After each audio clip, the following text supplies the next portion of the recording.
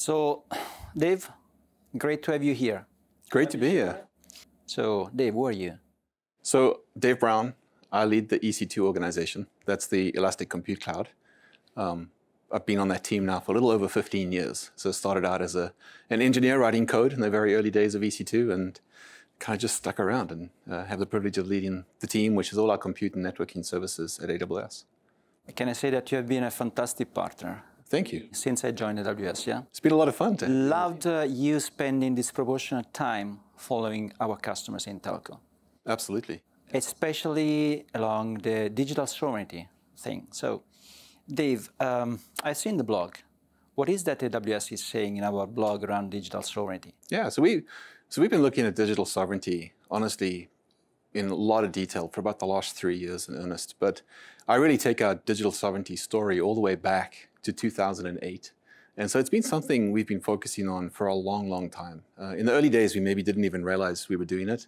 We were really optimizing for security and availability. But those have all become such critical things when you start thinking about digital sovereignty. So about six months ago, we put out a blog um, called our Digital Sovereignty Pledge, um, which really says that AWS uh, is going to be sovereign by design. That's what we're going for. We want to make sure that what we bring from a digital sovereignty and a data sovereignty point of view um, still gives customers the richness of the cloud, the functionality of the cloud, gives them control over their data, which, as I said earlier, isn't far off from what we've been doing since the very early days of AWS. But the, the blog post really outlines how we're approaching the, the challenge um, and how we're looking to solve it on behalf of our customers.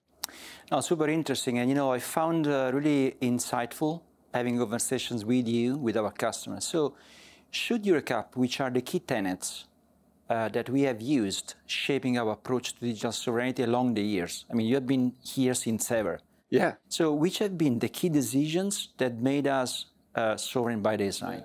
I think you know one of the very early decisions that we took uh, as I said, was back in 2008. And at the time, people were still trying to get their head around the cloud. Like, is the cloud going to work? You know, are we going to be able to move our data centers to the cloud? is that actually going to work for us? Um, and middle of 2008, uh, we actually had an event uh, with S3, and S3 was one of the very early AWS services. EC2 was only in our US East 1 region. There were no other regions. And S3 actually had an event. It was a Sunday afternoon. I remember it well. Um, and uh, you can still go read about it today if you search on the internet for July 2008 AWS. Uh, but what happened is we actually had, uh, S3 used to share uh, information between three locations. So Virginia, Seattle, and Dublin. And when you created a new file in S3 or object in S3, it would actually use the thing called the gossip protocol. It would actually gossip between those three locations. And we had a router on the east coast of the US that would just flip a bit every now and then. It was broken router. We didn't know it was broken. And over a period of a few hours, S3 started to tell everybody that the file didn't exist because this key store that it was gossiping about became uh, unavailable. And the way we fixed it, as you fix everything, is we turned it off and back on again. And that recovered S3, right, for that day.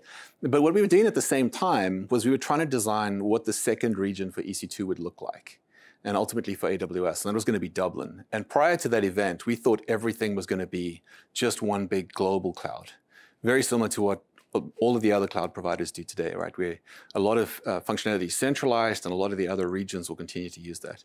And we came into the office on that Monday and we said we have to completely change our strategy because if we are sharing data between regions, we cannot guarantee that those regions won't fail for the same reason at the same time. And what was amazing about that decision is it's meant over the years we've actually built our regions to be very, very isolated. So when we put down a new region, like we just put a region in Melbourne a couple of weeks back, we did Switzerland, we've done yeah in Spain recently as well. Those regions are complete AWS footprints of a region. And so it allows our customers, or you fast forward to today, and from a digital or data sovereignty point of view, customers know that the services that they're using and the data that they're storing is always going to be local to that region and that geography. And so it aligns very well um, with what regulators have been looking for. Amazing. I think uh, these are the key milestones that you need to go through while you scale managing complexity. I think that is one of the reasons why we say that there is no compression algorithm to experience, right? Yeah. You need to clash against the wall sometimes to listen and to understand. And that's even been true today in how we think about digital sovereignty, right? And, and one of the reasons we went out with a pledge and not a solution, we've seen others come out with solutions, is very, it's very hard to come out with a one solution because we have to look at, you know, what, how is a country or a regulator, in the case of telco maybe, defining digital sovereignty? And how does that fit with what AWS has to provide? What do we have to do to innovate on behalf of our customer? What is our customer going to have to do and how are they going to have to change? And maybe in some cases, regulators change as well as they learn about you know, services on our side, like Nitro, for example, and just the level of data protection that that provides.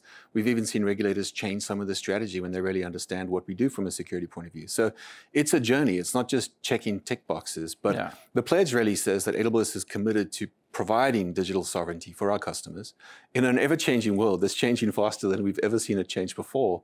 We're committed to working with our customers, working with regulators, and bringing our richness of services into these regulated environments. Again, for me, it was amazing one month ago when we spent that one week just traveling Europe with you, listening to regulators and customers. Um, what is that you have learned in this very intense interaction that you have had in the last months? Yeah. I, think the first thing to acknowledge is, you know, digital sovereignty is definitely something that, uh, you know, is very important to countries and it's not something that we, anybody should be writing off. There's a very clear reason as to why they want digital sovereignty and why they need sovereignty and digital data sovereignty as a country.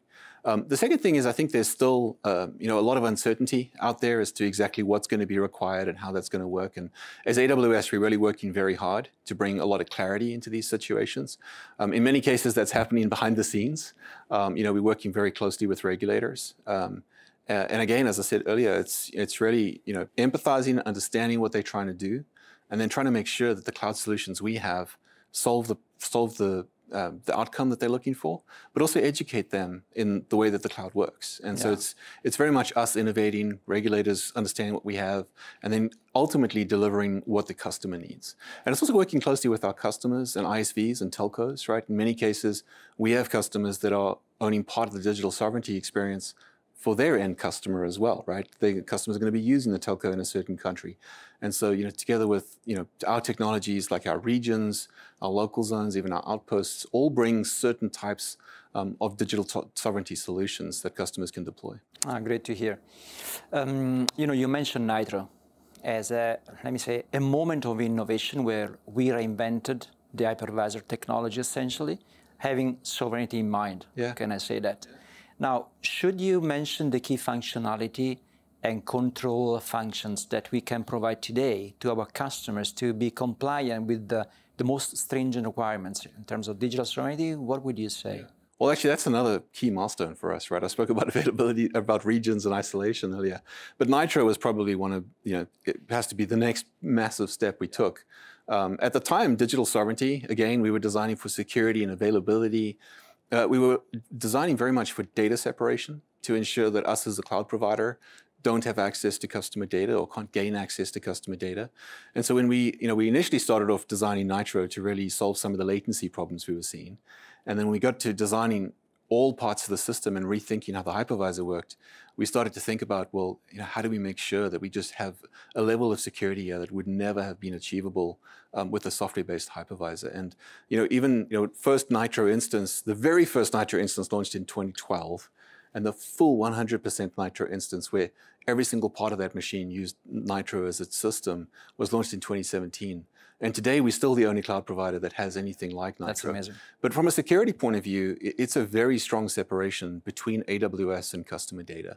Um, all customer data is encrypted at rest with a key that exists only for the lifetime of the instance and it's never known to any system. The other thing is uh, everything is, is validated and attested. So when a machine boots, we actually make sure that every single component in that system is exactly as it should be. That includes hardware as well as software and firmware. Has it been signed correctly? And if any of that is found to be incorrect, we won't actually allow the server to boot up. And then the final thing is we actually, we never built a command prompt. So there's no shell, there's no SSH. Um, and it was really, you know, at the time, I remember people saying, well, how are we going to run the system? Like if I can't log into the system, and I think that's a mentality that, you know, uh, certainly other cloud providers still have is if something goes wrong, you have to log in and debug or get logs. And you know, we just said to ourselves, well, that's not how we're going to operate. And so, you know, we're never going to be able to access the box. If we need telemetry, it's got to be stuff that we can we can read off metrics that came off the machine or sanitized logs that came off the machine. Um, all APIs are encrypted and signed as well and deeply authenticated. And so, from a security point of view, it really raises the bar um, on security and, and, honestly solves a lot of the challenges that, that customers have. You know, Nitro also was the very early stages that ultimately led us to Graviton memory encryption as well, which is another hugely important feature for digital sovereignty. And it's refreshing the moment that we pitch the Nitro value proposition to our customers. It's a kind of uh, eyes-opening moment for all of them. Yeah. So I think this, is, this was another key fundamental milestone where we have taken the right decision following the right tenet to be digital sovereign yeah. by design. Yeah, absolutely. Now, um, maybe last question. Yeah. So again, you have spent so much time with me, with my team, yeah, yeah. talking to telcos, uh, the Orange, with Deutsche Telekom, with Telia, with Telenor, yeah. and I'm for, for, sure forgetting some of those. And I have in mind the wonderful example of Deutsche Telekom T-Systems that last Mobile World Congress launched a fully managed data protection service on AWS. So the question is, uh, what do you think could be the role of telcos uh, within the digital sovereignty uh, area? Yeah. What kind of role? I think it's an excellent question. It's been a lot of fun working with you and the team. Uh, as you know, I did think you were crazy when you started. I probably still do, but bringing the very early telco ideas to me and saying, how do we solve these problems? And some of those were really hard challenges. You know, Outposts came out of some of those early interactions, and we've really actually driven a lot of innovation in AWS through telco requirements. And I think that's going to be an area of just incredible innovation for us going forward. Um, and it's really, it's sort of forced us out of our regions and into the edge, right, with local zones and outposts and all this other technology we're doing now. So it's been a lot of fun working with you. On the question, though, um, you know, I, I think in, in many countries, one of the things we see from regulators and governments is that they want a local entity to be able to stand surety or to be able to attest. The other word we use is custodian. Um, and so, you know, Deutsche Telekom is a great example of that.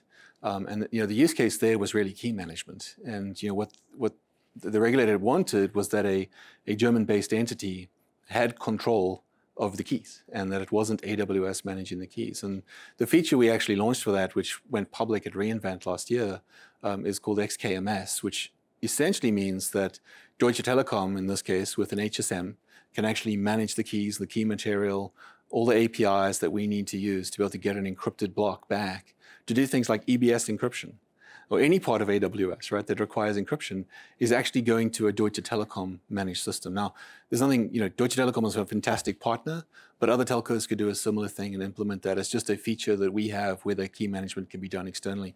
I also think that that list, that's a great example, key management. There's going to be a list of other things some of those are going to be common amongst countries. Some of those are going to be specific to certain geographies and regulatory requirements. Um, but we look forward to partnering with telcos um, and have them be a custodian in these countries on behalf of AWS for the end customer for some of these workloads where that might be required. You know what, Dave? I think uh, I really want to thank you for um, the fun that we had while seeking the truth. Yeah. I think the beauty has been just to ask the wrong and the right questions but always challenging each other and listening to what our customers want Absolutely. and need. So, really, thank you for the thought leadership that you brought uh, in this super difficult area. I think, uh, I think we are digital sovereign by design. Yeah, absolutely agreed. Thanks, Fabio. Thanks a lot, man. Thank you.